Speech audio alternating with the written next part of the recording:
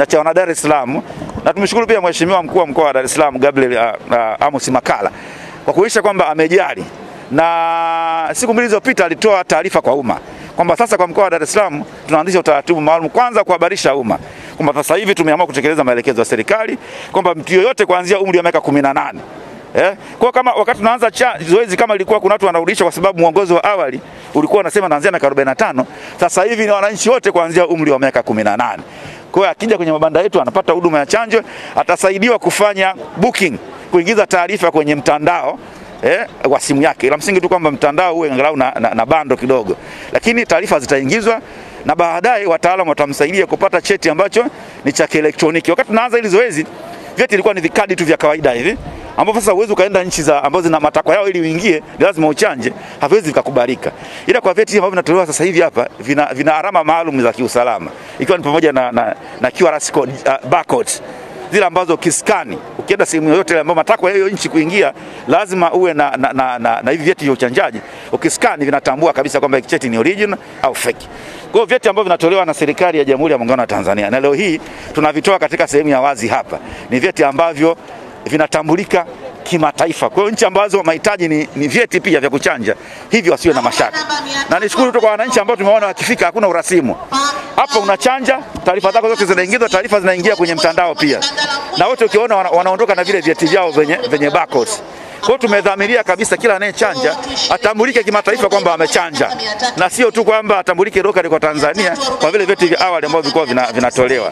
Kwa hiyo niendelee kutoa rai kwa wana Dar es Salaam kama ambavyo Mheshimiwa mkuu wa mkoa ameelekeza, pia wajitokeze wajitokeze kuja kuchanja. Chanjo ambayo tunatolewa hapa ni chanjo aina Jensen Jensen, ni dozi moja tu, ni single shot tu, lakini nakupa kinga. Lakini pili, nchi ambazo zimeendelea na nchi ambazo zilikuwa zimeanza kuchanja, Marekani, Ulaya, tumeona sasa hivi takwimu zinatueleza wagonjwa wengi ambao wanalazwa hospitalini ni wale ambao hawajachanjwa wagonjwa wengi ambao wanalazwa wodi ya wagonjwa mahututi, wagonjwa wengi ambao wanafariki ni wale ambao hawajachanjwa. Kwa hiyo faida za kuchanja, moja, inakukinga, lakini pili, hata kama kwa wale wachache itatokea kama wamepata maambukizi, yanakuwa ni ya kawaida mno, unaendelea na shughuli zako kama kawaida za uzalishaji wa mali. Kwa hiyo hizo ndio faida za kuchanja, tofauti na baadhi ya watu wanavyosema kwamba kama unachanja ukaugua, kwa nini tuchanje? Hizo, hizo, hizo ni kauli za kihuni na, na, na hazina, hazina tija kisayansi, kwamba ukichanja kwanza na kukinga, lakini hata kama ikitokea wale wachache, asilimia chache umepata maambukizi, yanakuwa sio maambukizi ya kupelekea homa kali ya mapafu, hautasababisha haitakusababisha uende kurazwa au kufariki kwa sababu ya, ya, ya COVID.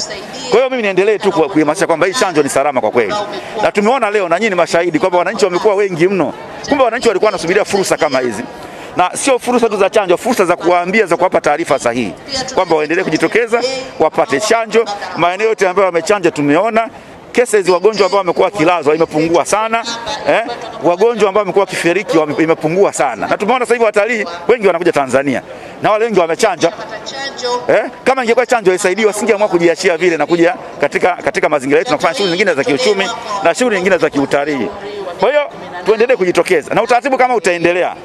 Leo Mheshimiwa mkuu wa mkoa ameanza tu hapa kama uh, uzinduzi ngazi ya mkoa, lakini ameelekeza ngazi ya wilaya na kutakuwa na, na, na shughuli kama hii ya wazi.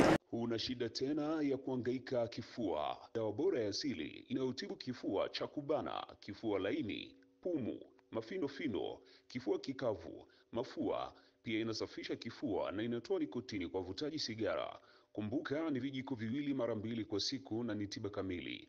Piga simu namba 0759 495 264 au 0710 135 515.